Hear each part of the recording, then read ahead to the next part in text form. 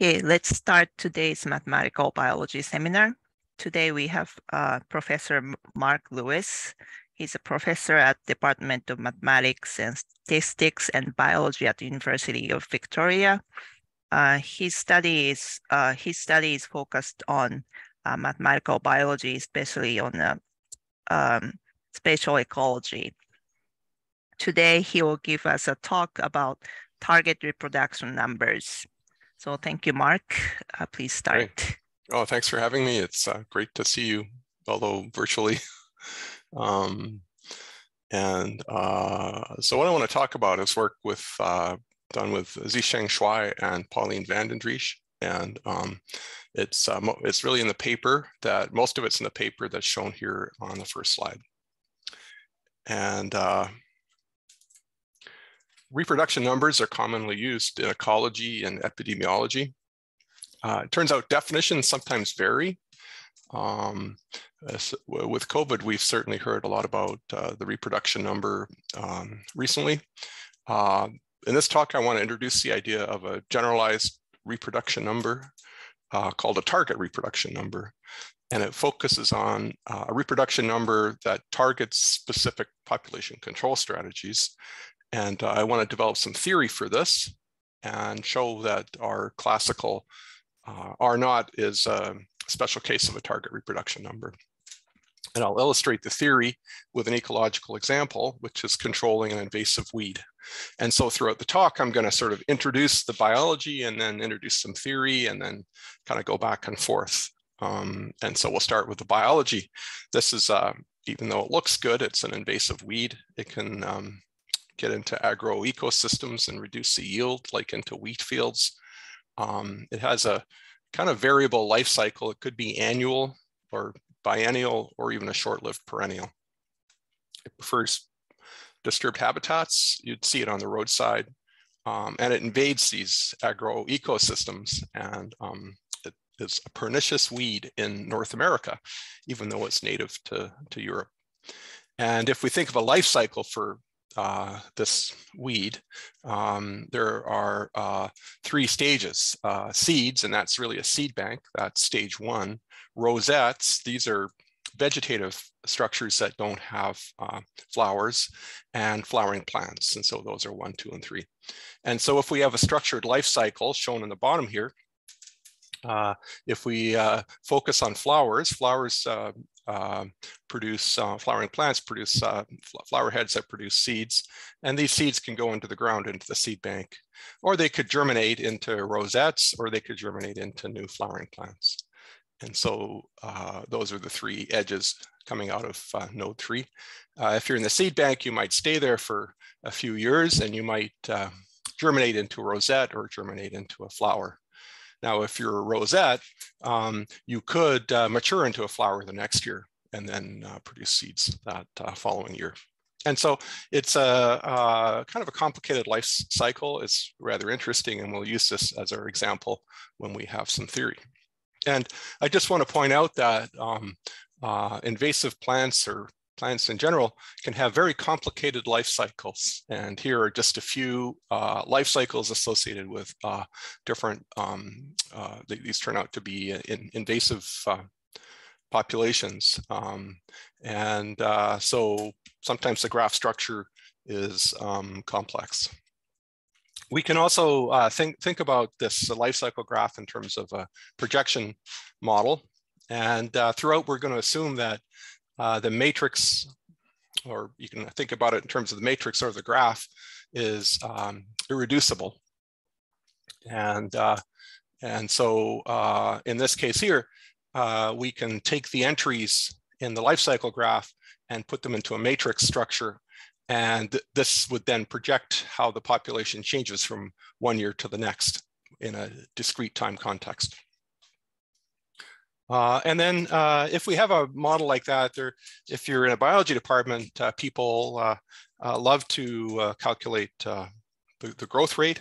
and so um, this is very commonly done in ecological circles.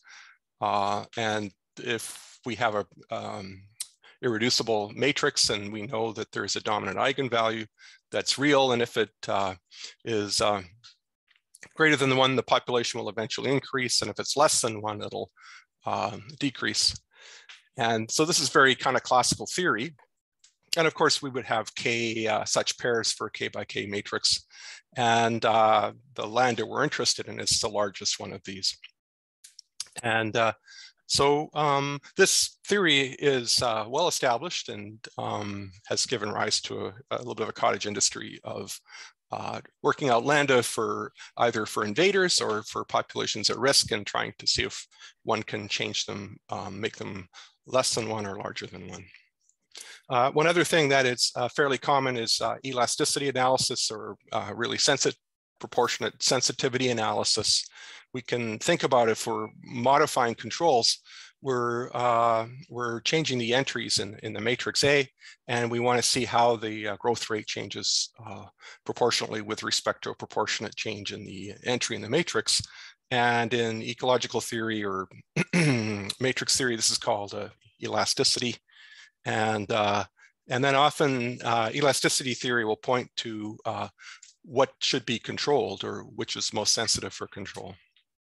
And so a, a, very kind of classical way of looking at populations is to determine a life cycle, estimate parameters. So then we'd have the entries in the matrix A, calculate the population growth rate, look at the elasticities, and then um, look for control agents that uh, can affect transitions with high uh, elasticities.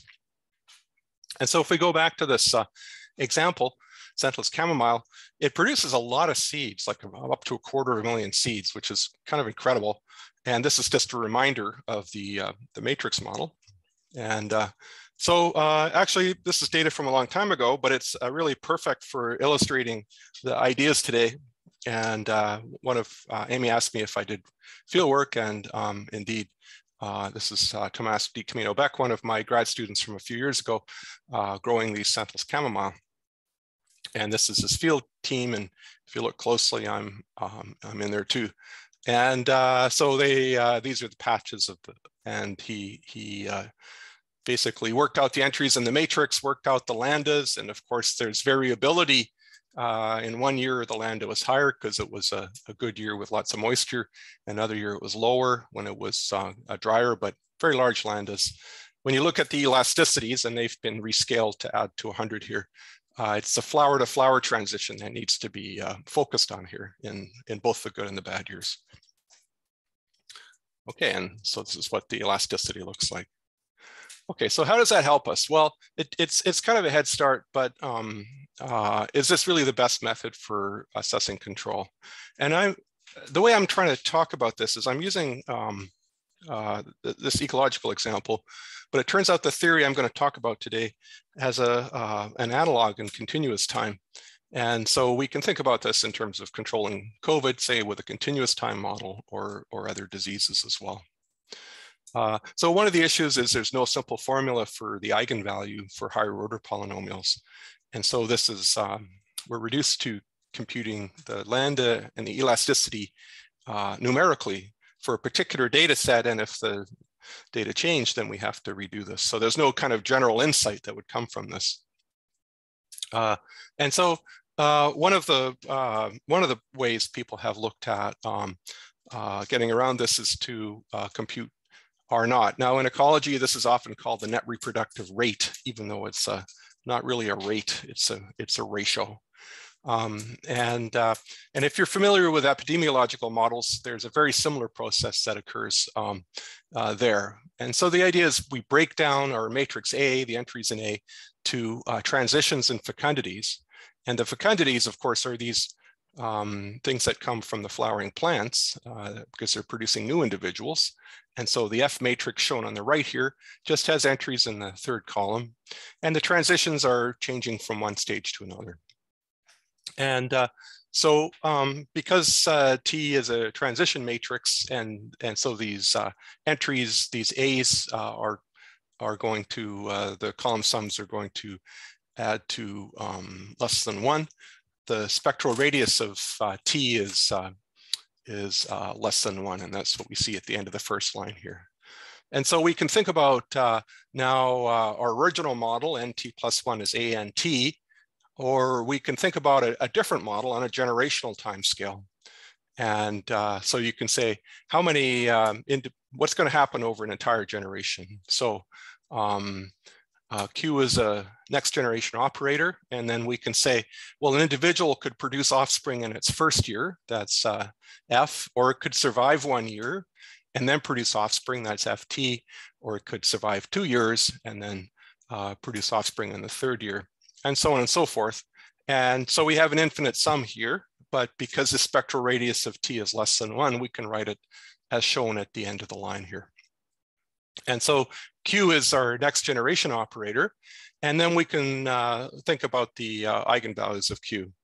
And the um, largest eigenvalue of Q uh, is uh, the uh, net reproductive rate or R naught. And the population grows uh, if and only if R naught is bigger than one or and decays if R naught is less than one. And so there's an equivalence to R naught being greater than one and lambda being greater than one. And this theory uh, was developed in discrete time uh, by Cushing and Yicang um, uh, in the 90s. And uh, probably in continuous time, the equivalent theory that has been widely applied to epidemiology. There's a, a lot of people that have worked on this, um, like uh, Odo Diekmann and so forth. And, uh, but the paper that illustrates this theory the best is a paper by Watmough and Van den Driessche. Okay, so let's just do that here to uh, continue with our example. So we've got our uh, transition matrix here, so we can uh, uh compute I minus T inverse, and it's shown on the left here. And we have our F matrix, and so we can pre-multiply I minus T inverse by F and get the matrix on the right here.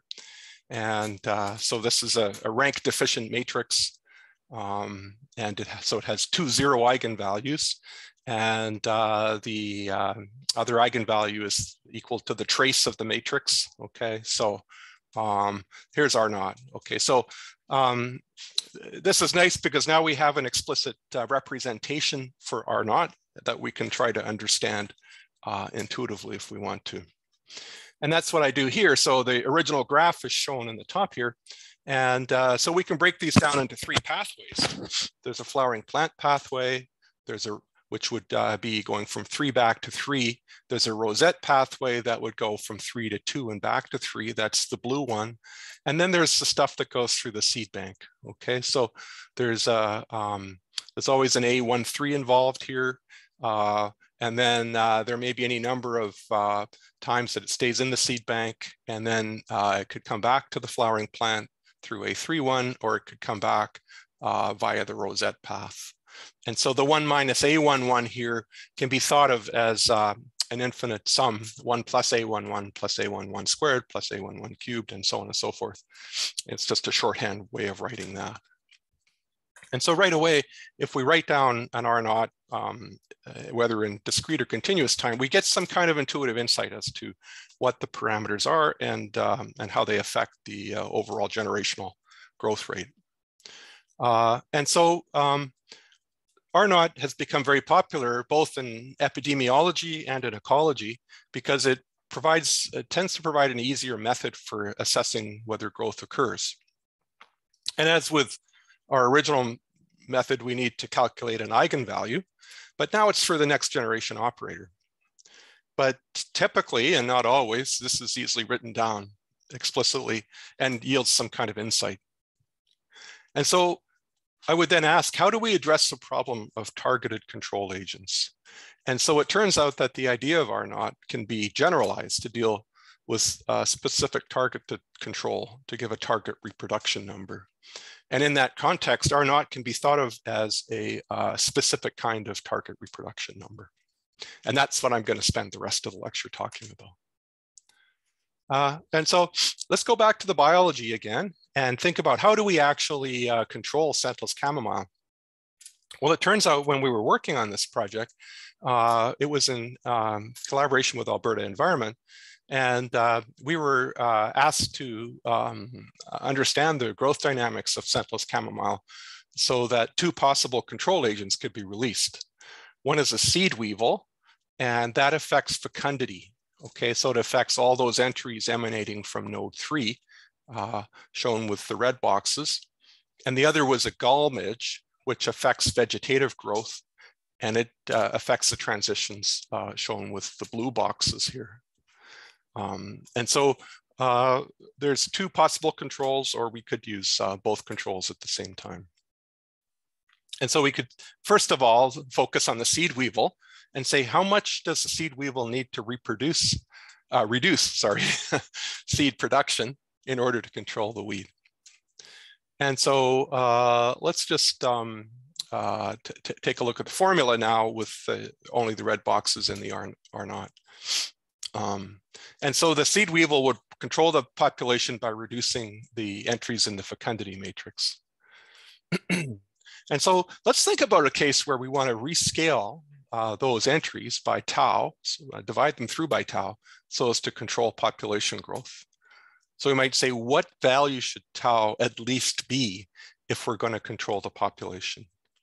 And so we can take our R naught equation here and uh, set R naught to be one because that's the threshold value, and then rescale these entries by tau. And uh, that's what we've done here. And then we uh, want to solve for, um, uh, for tau, okay?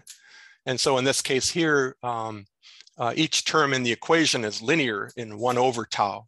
And so when we solve this equation, we just get tau is equal to R naught. And so to control the population, we need to have tau greater than equal to some critical value in tau or target value, which turns out to be R naught. And so we can also uh, think about R naught in a new way now uh, as the amount that we would uh, scale reproduction by to control the population.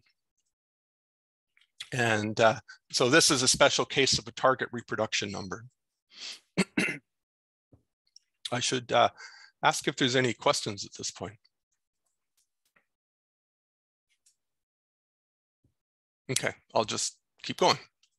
Uh, let's think about the target reproduction number for the uh, vegetative growth. And uh, this is shown in the, in the blue here. And uh, so what happens if we try to control the population by rescaling growth via the gall midge? Can we come up with a target reproduction number for growth? And the answer is yes, but uh, to, to get there, I want to develop some general theory uh, on target reproduction numbers. And so the idea now is that we can uh, uh we can break down uh, A into uh, another partition that isn't TNF. And F. And the idea here is that we have matrix B and matrix C. C is the target matrix, and B is the residual matrix. And we're going to require that the spectral radius of B is less than one for controllability. And then we're going to rescale the entries of C uh, and see how much we need to rescale them so as to bring uh, the growth rate um, down from above one to below one. So we're going to be now uh, rescaling the entries of C by tau. And so if, if, we, uh, if we said that uh, B was our transition matrix and C was our fecundity matrix, it would be uh, just as we did before. But now we're kind of generalizing this and we have uh, a different set of, um, of controls in, in the C matrix. And so um, it turns out for A, B, and C non-negative matrices such that A is B plus C, uh, A needs to be reproducible and spectral radius of B is less than one, the target reproduction number is defined in a, in a very similar way to the way R naught is defined, but now just with a different breakdown of, uh, of the matrix A. And of course, if, uh, if C is equal to A, then um, the uh, uh tau C is um, equal to lambda.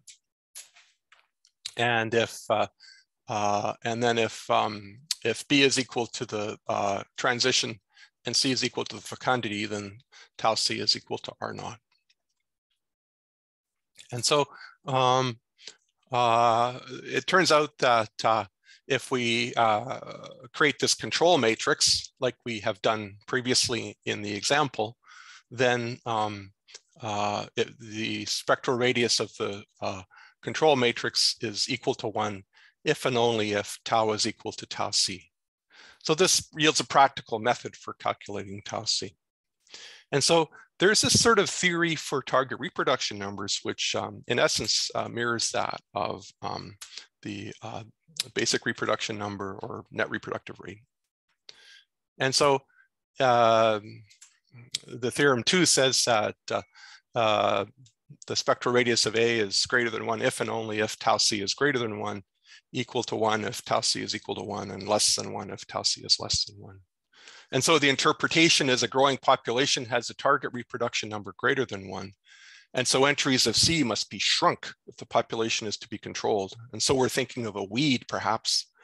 A stationary population has a target reproduction number equal to one. And a shrinking population, such as a population at risk, has a target reproduction less than one. And so the entries of C must be made larger. So the tau would be uh, less than one in that case. Okay, um, let's uh, let's do that here. Okay, so now we have our uh, our our B and our C. Okay, and uh, uh, we also have our control matrix here. Um, uh, by rescaling the uh, entries of C by say sigma. Okay, we're using sigma instead of tau now, so we can compare uh, the first and the second application of the target reproduction number. Um, and uh, so then we can find uh, sigma C by um, uh, solving for the spectral radius of the target reproduction number of the target control matrix is equal to one. Or we can go back to the, um, the original theorem uh, right here and uh, calculate it using um, the, the, the, tau c shown on the top here. And they give the same answer. So let's go ahead and do that and see what happens. and we'll use um, the method where we set the spectral radius of the control matrix equal to one. And uh, you'll notice here that uh, uh, sigma no longer, um, one over sigma is not linear in in, in this equation. And so we'll get a quadratic. And um, this is a quadratic in one over sigma. And we know that there's uh, just one positive real root to this equation by, it turns out by our, our theorem one. And that sigma is greater than one, providing the spectral radiuses of A is greater than one by theorem two. And the alternate method would be as, as given here. Um, and at the end of the day, we get the same characteristic polynomial as we have on this uh, in the middle of the slide here. Okay, so if we're just thinking about what we did here, the steps to determine a target reproduction number would be to break down a population projection matrix into a non-negative target matrix and a non-negative residual matrix. And we want our target matrix to be non-trivial. And we want to ensure that the residual matrix has a spectral radius of less than one so as to be able to control the system. And then we uh, create a, a, control matrix. Oops, I keep on jumping back there. Let's see, there we go, okay. Uh, and uh, this system can be controlled as long as the spectral radius of B is uh, greater than one. And uh, that's pretty straightforward to see just by looking at it, because as tau goes to infinity, the control matrix goes to B. And if the spectral radius of B is less than one, then we will have achieved control. But we set the uh, spectral radius of the control matrix equal to one to get the polynomial in, in tau. And uh, we solve for the target reproduction number. And this determines the level of control needed to stabilize the population. And if the original population was growing, then tau c would be bigger than one.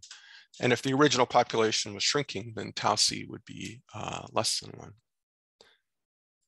And again, as maybe mentioned before, if B is a transition matrix and C is a fecundity matrix, then the above method determines the net reproductive rate or the basic reproduction number. Um, and so if you have an expression for R naught, then these uh, steps two and three can just be replaced by setting R naught to be one in the expression and rescaling the elements of C by uh, tau. And that's um, that's basically what we did when we um, when we, uh, for example, in, in this slide here, we just took the expression for R naught, set it to be one, and then rescaled by the um, by the um, uh, the uh, rescaled the entries in the control matrix. So that's a, a kind of a quick way of doing it. Um, let's think about the target reproduction number with con two controls now. So this would be if we were to release both of those biocontrol agents, we'd be uh, rescaling fecundity in the right-hand column, and we'd be rescaling the vegetative part in the uh, lower left. And uh, so if we're gonna analyze this, we need to have uh, some additional constraint to determine uh, what the best control is. And uh, so here we're assuming that the cost of control is given by capital D, and it depends on um, tau and sigma. And uh, it's D1 times tau minus one plus D2 times sigma minus one. Uh, and so uh, no control would be tau is equal to one, sigma is equal to one. And so we could ask to look at the least cost solution. And so if we set the spectral radius of the control matrix equal to one now, uh, then we uh, have uh, this polynomial in tau and in, in sigma here. And so we could uh, write this uh, uh, as, a, as given down here. And so the parameters for the control of the fecundity and the growth are given by a curve in, in tau sigma space that we can plot out. Um, and so just as a little recap here, our, our curve is shown on the bottom here, and uh, our cost is shown above it. The original life cycle graph is shown here, and the entries that are being rescaled by sigma are shown in blue, and those that are being rescaled by tau are shown in red. And uh, so this is the uh, curve, the black line here is the curve that we have in uh, tau sigma space. And so if we're above this curve uh, in the top right area, we have uh, control. And if we're below this curve, uh, we don't have control. And uh, so now we can draw out lines that describe equal cost curves. so if we set D to be a constant, then we'll uh, have a, a line of the form shown here. And so if D is less than D critical, uh, we have the first line. And when D is equal to some D critical, uh, we get a, a, point of tangency here. And then if D is greater than D critical, uh, we, are up in the, the region there. And so the least cost solution would be when uh, D is equal to the, the, the critical value that gives a point of tangency and then it would give a, a, a value for the uh, fecundity control and for the growth control. Okay, so um, so this idea of a target reproduction number can be um, kind of sort of generalized to um, uh, to, to multiple controls. I'm going to uh, kind of show a, a, graphical method for computing um, uh, the target reproduction number. And uh, this is uh, going to focus on where we're controlling fecundity to get R naught, but it's a, a, general method. And it's, it's kind of a, a, cool method. I just want to throw it in here. Um, and so the idea is that uh, we want to create a graph of the controlled matrix where the um, those things that are being controlled, in this case, the entries of F are res rescaled by the um, R naught by multiplying through by R naught to the minus one. And then the idea is that we can uh, manipulate the graph using what's called Mason's graph reduction rules. Uh, and when we do that, we then set the weight for the final node on the graph to one, and then we solve for R naught. And so the graph, Mason's rule allows us to simplify the graph. And Mason's rules are really, uh, they, they are very similar to those for uh, conductance in electrical circuits. And so here we have um, uh, it, things in, in, um, in series. Okay, so we're gonna multiply A and B. Uh, so we can remove node two and uh, just go from straight from one to three with weight AB on the, on the edge. Uh, the second from the bottom is um, uh, in, um, in parallel. And so when we uh, remove one of these edges and replace it by a, a single edge uh, that has the weight A plus B. And uh, the, the top rule uh, says if you have a self loop here, um, you can then um, rescale A uh, by um, one minus um, B. So we uh, divide A through by one minus B and then get rid of the self loop here. And so uh, let's just do that for uh, the scentless chamomile case. And so here we're breaking it down into T and F. And so F is our, our um, what we're trying to control. And so we multiply F by uh, R naught to the minus one. And so these entries uh, shown in red here uh, are the first step. And then uh, uh, we want to uh, try to apply these rules. The rules are shown on the right here. And then what we do to the graph is shown on the left. And so the first thing is we have a self loop on node one. And so we would want to replace that by changing the weight on the arrow that's shown in red. And that would be using the first rule. Okay, that'll simplify things a bit. And then we want to actually remove a node. And so we can apply uh, these rules sort of simultaneously. And so uh, we need to think of all the things that uh, go through um, node two. And so we have um, we have a loop that uh, we have something that goes from one to two to three. Okay, so if we remove um, so it'd be a A21 times A32. That would be using uh, the third rule. And we take A21 times A32 and we add it to this edge on the top here. And uh, the other thing is we have a self loop that would go from three to two to three with the weight A23 R naught to the minus one A32. And so we need to add that to the self loop from three to three. And so by using uh, these rules on the right, then we reduce it to two nodes. Uh, then uh, we have a, a, loop that goes from three to one back to three. So we can multiply these weights together, okay? And, uh, and then we have uh, what's shown on, on the right here. And we've removed node one. And so now we've got a graph going from flowers to flowers. And we have, uh, we can use uh, rule two here. We have two um, um, arrows in, in parallel. And so we would add their weights. And, and so this is uh, what we do. And then we solve for R naught and we get the, the R naught we had before. Okay, so this is a, a kind of a cool little thing you can do on the back of an envelope when calculating R naught. And uh, uh, makes it a little bit easier. So let's go back to the scentless chamomile. What happened there? Well, first of all, the R naughts were incredibly high. And uh, so uh, now they're broken down in, into the different components of the different pathways.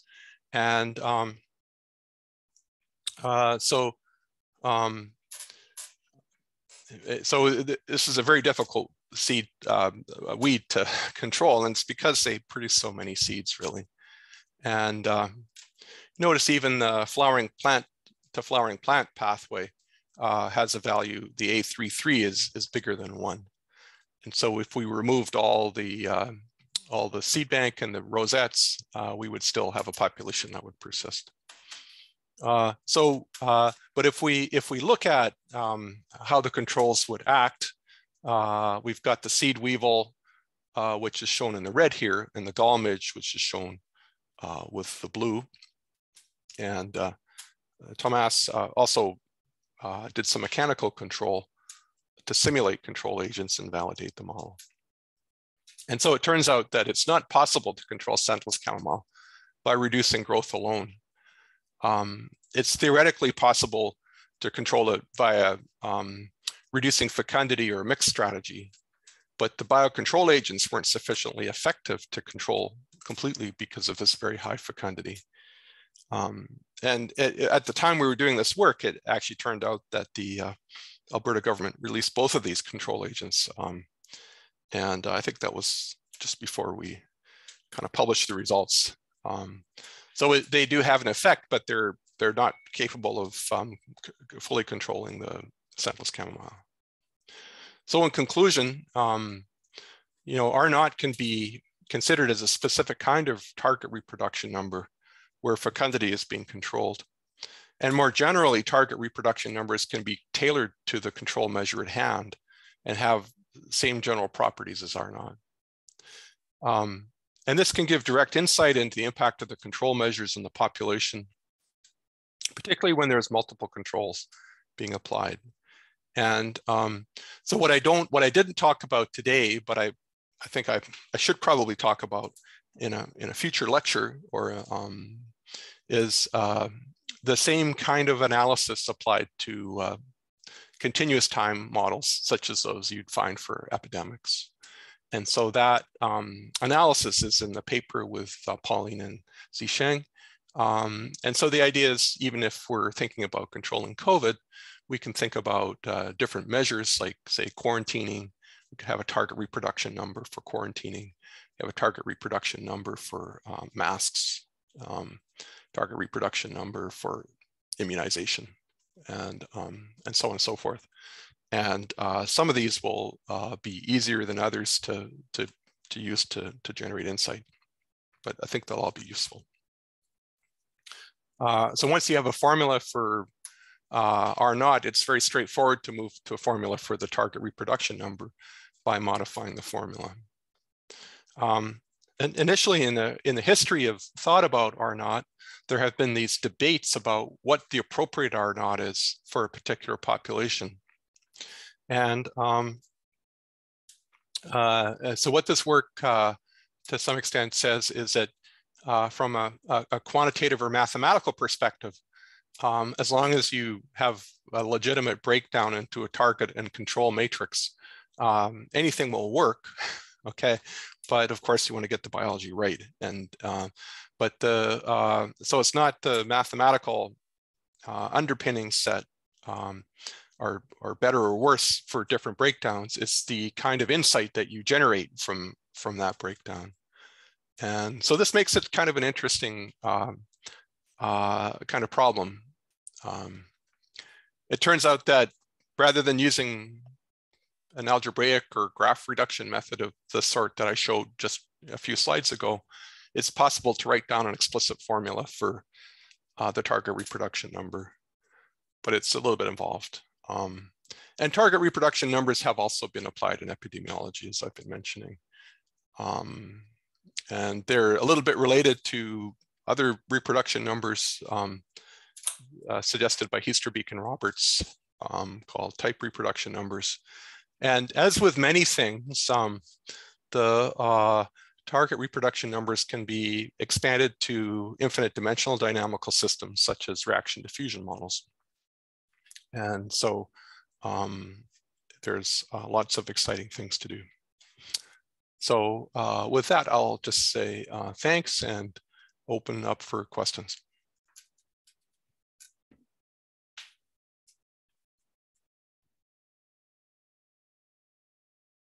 I, I had a question. Thanks, Mark. That was really an interesting presentation. Um, oh, sure. So you you discussed kind of in the case where you have multiple controls, this sort of minimal cost um, solution. Is there also a way to use this to figure out sort of if you could control all of the parameters in the system, which one would would allow you to uh, to most effectively control the population? Um, Is there, it, yeah. I mean, kind of, if you if you could look over all possible breakdowns of this control and um, the the control matrix, I guess.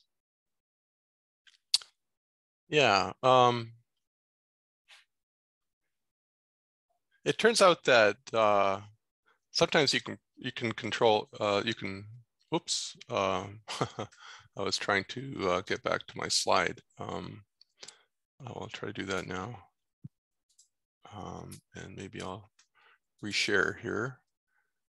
Uh, there we go. Hopefully that is visible. Um, yeah, we, we see Yeah, yeah. So it turns out that actually for uh, uh, it's it's possible to show that sometimes control measures won't work, which I think is maybe at least pertinent to your question.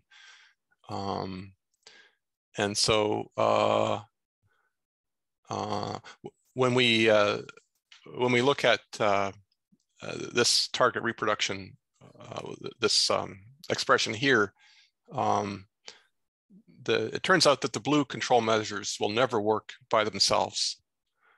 And, um, and the reason is because A33 is bigger than one. And so there's no, as, as we can get rid of every other term in, in that R naught equation, but, you know, um, and it's um, possible to show that um, uh, that of course, if if we reduce, um, if we use the control measure shown in red, we can we can bring R naught to be less than one. And um, and so the uh, the the idea that the uh, A33 is um, is is is bigger than one.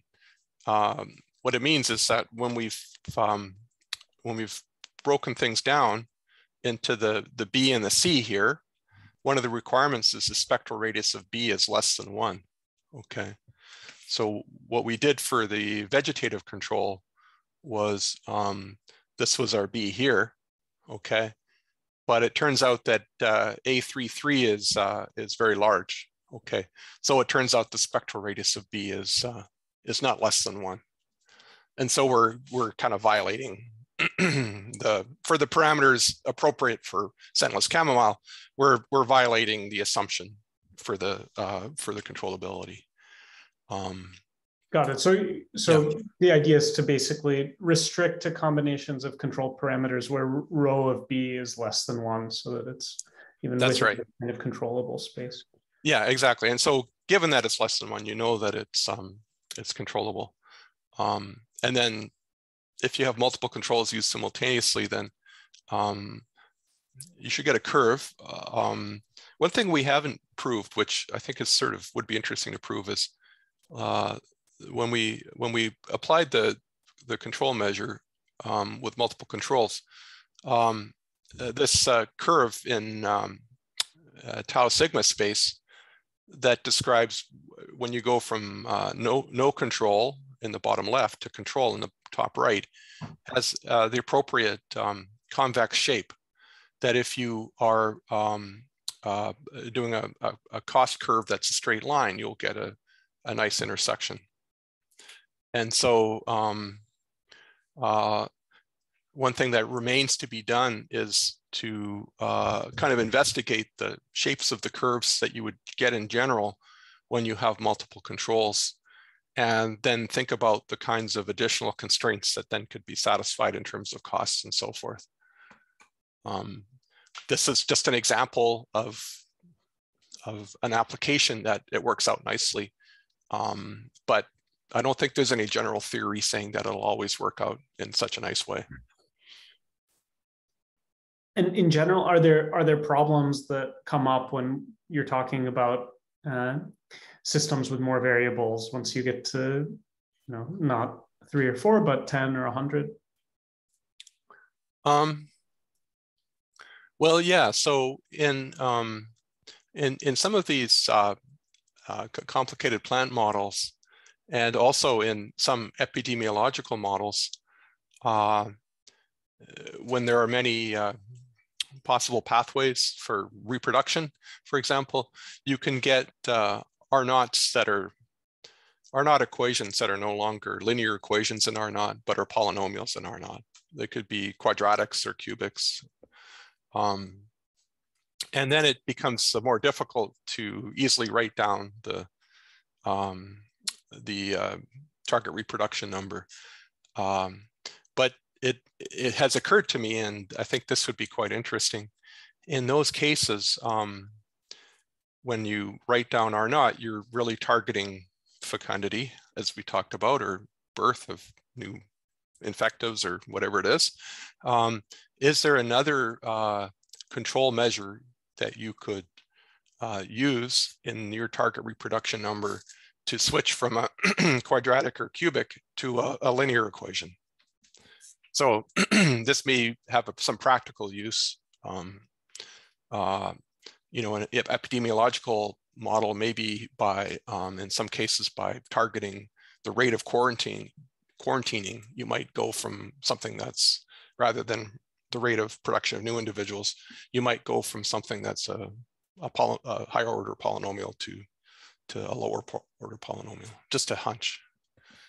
And so with the full theory of target reproduction numbers, one, when faced with a problem, might just choose the appropriate control uh, measure to give the, the best insight in the simplest algebra. And then I think that the gist of the talk is when you do that, everything's okay, right? All the all the theorems and results that we rely on all the time for R naught are still going to apply, providing we may meet some basic criteria.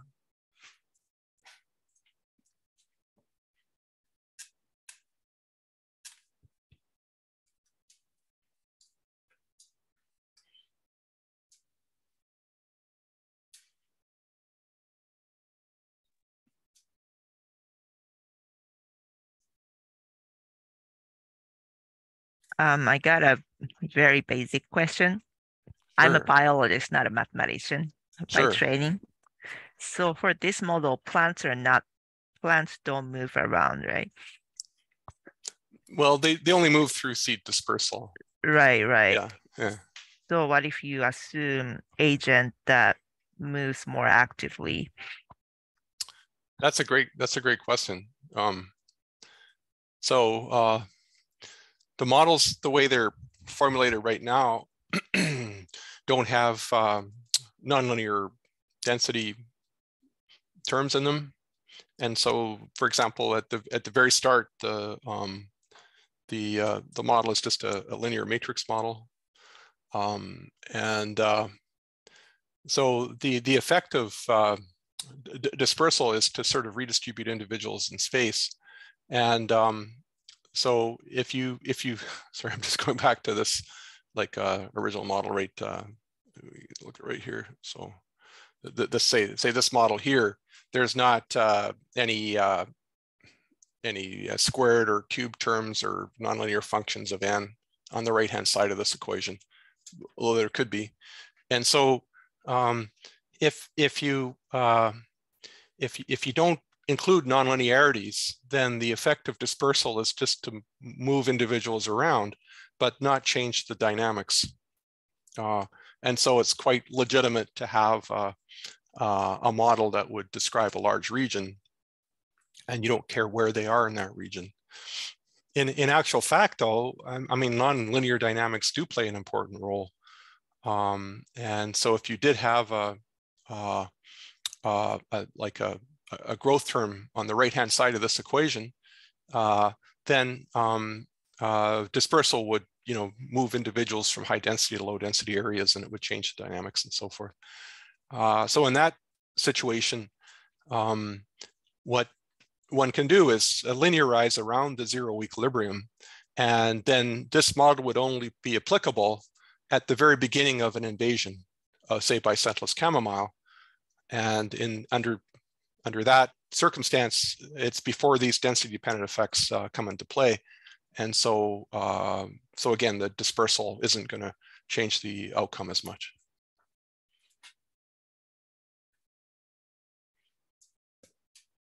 I hope that was uh, helpful. Yeah, thank you. Yeah, you bet. Do we have any other questions? Okay, if not, let's thank Mark again. My, my pleasure. Thank you so much for your talk. And Thank you, Mark. Thank you. you. Okay, take care. Okay. The rest of us will see you next week. Thank you so Okay. much again. Okay. Cheers. Bye. Bye.